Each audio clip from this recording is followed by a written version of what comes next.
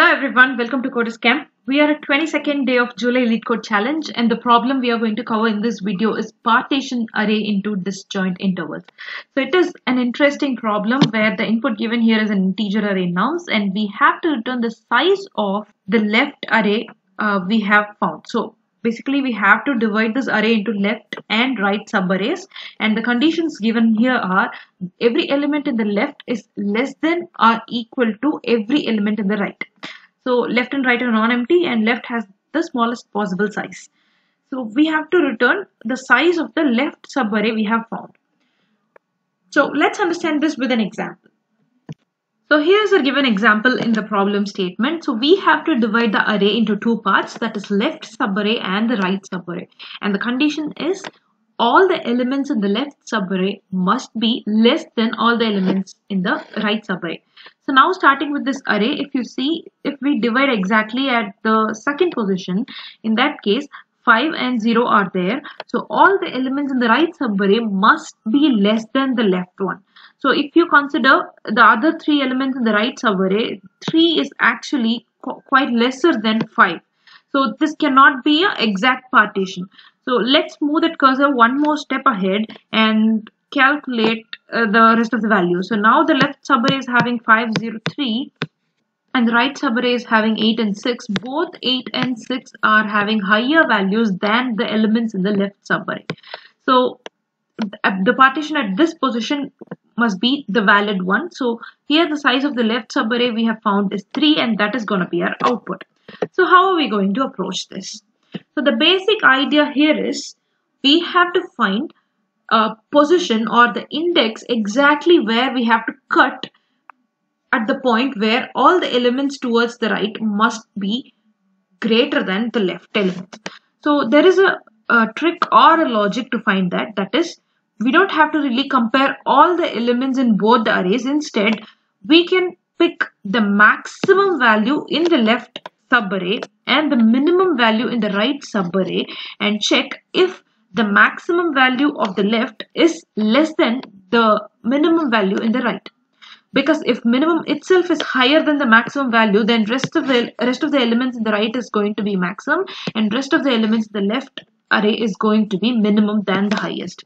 So if that condition is satisfied, then we can find the exact partition where we have to cut our array and find the length of our left subarray. So how are we going to find the point where the maximum value in the left subarray is less than the minimum value in the right subarray. So as I said, our task is to find the maximum value from the left subarray and the minimum value from the right subarray. To find that, we are going to get the help of two integer arrays, left max and right min, and we are going to update it first and then move on to the comparison. So let's first update from left, that is which is the maximum element from left towards right.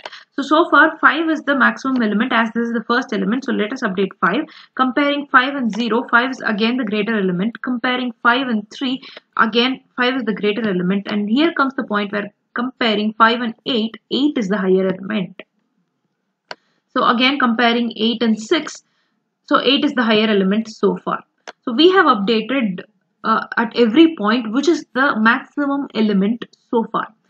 Same way we are going to update the right min from right towards left. So now comparing 6 and 8, 6 is the minimum element from left, sorry from right. Same way comparing 6 and 8, 6 is again the minimum element. Comparing 6 and 3 3 is the minimum element here. So let us update 3 here. The same way comparing 0 and 3 0 is the minimum element.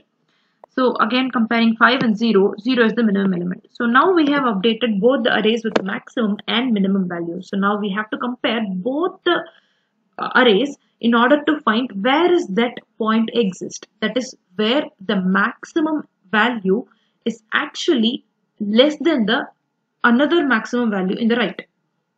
So when you check, you have to check the first element and the second element in the right array. Why? Because the condition clearly said we have to have two arrays left and right. So if that is the case, the minimum length would be at least one. So in that case, we have to at least include the first element as the part of the left subarray. So that position possibly can be the second position or after that. So we are going to compare whether 5 is less than 0. No, 5 is actually greater than 0 which actually means there are elements existing which are high uh, lesser than 5 in the right array. So it's time to move and compare on 5 and 3. So here again 5 is greater than 3 which again means there exist lesser elements than 5 towards right.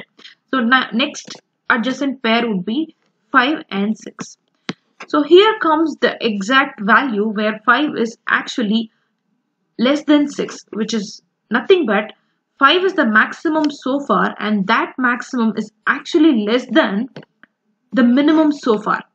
So this is the point where exactly we need to cut it and the elements before this point are lesser than the values after this point. So these are the two possible subarrays we could find and this position is nothing but the length of that subarray left subarray we have found and that is going to be our output. So this is going to actually work in big O of n time complexity and big O of n space complexity. But still we could do it in constant space. So before going into that approach, let's cover the code for this approach and move on to that.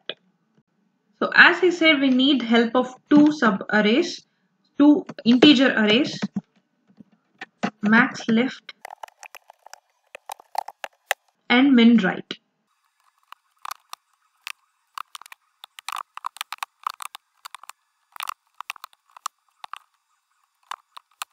So yes, we have updated our leftmost value to the first element and the rightmost value in the min right to the last element. Now we are going to iterate the given array and update these values.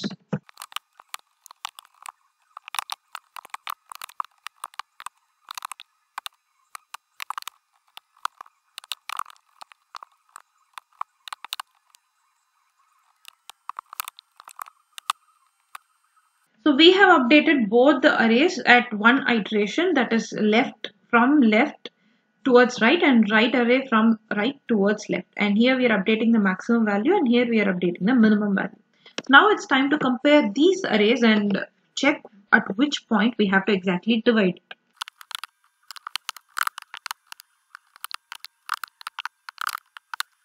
So yes, we have comparing uh, the left most element with the adjacent element in the right array and if there is a point where left value is less than the right value then that is the position we are expecting and i plus 1 would be the length of the array so we are finally returning minus 1 so yes let's submit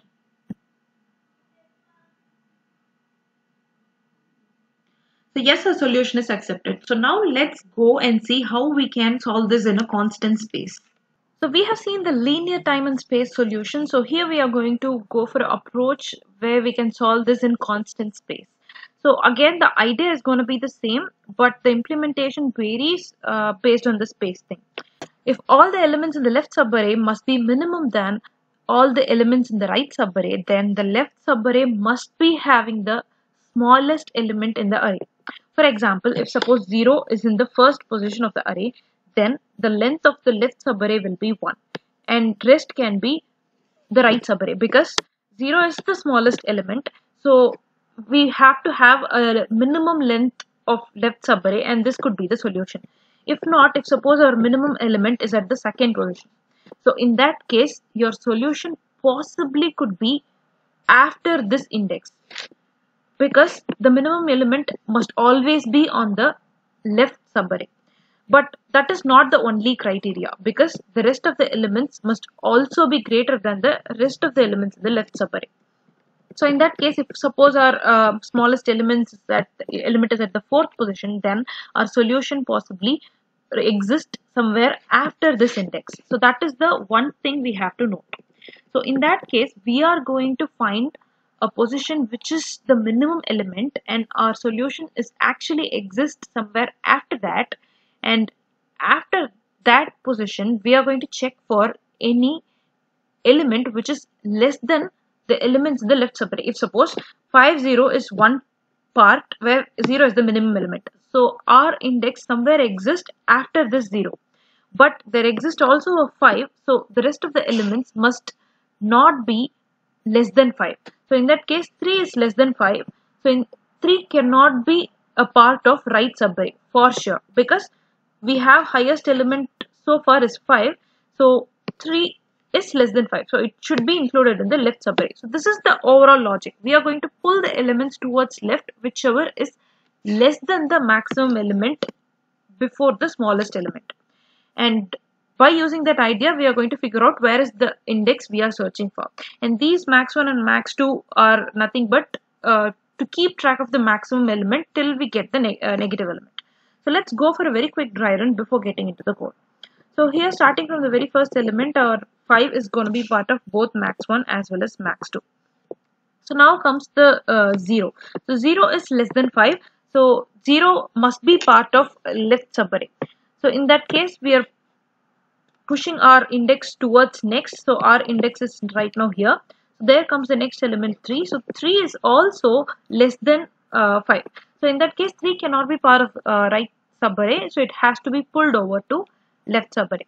So here comes 8 so 8 is actually greater than 5 so in that case we have to update our max to 8 and this as well to 8 because uh, we can possibly have this pointer as our solution but we cannot be assured that because after 8 what if there exists a 2 so 2 cannot be part of right subarray right? So in that case we have to temporarily fix this position. So our answer right now is 3 so let's move on to check whether uh, any other elements are left after 8 or uh, greater than or less than 5 so in that case we are uh, having 6 here. So why we are maintaining 2 max is if suppose this is the maximum element and there comes another uh, greater than greater element than 8 so in that case we have to fix 8 the uh, first max and max 2 will be holding the next greater element so now 6 is actually less than uh, greater than 5 so in that case uh, we can check the rest of the elements whether they are less than 5 or not so again after 6 there are no elements left. So we have successfully found this is the index where we have to make the partition. So it may be a bit confusing but if you uh, do a dry run with different examples you will be getting an understanding. So let's go to the code now. So let's type this code and uh, as I said we are going to have two variables max1 and max2 to store uh, the current maximum and the next maximum. So we are going to iterate our given array to find the maximum value so far till we find the minimum value. So whenever there is a, maximum value, we are going to update our maximum value as well as the index. If not, we are going to update our second maximum value. So once all the comparison is done, our index will be having the exact position we want. Let's run and try.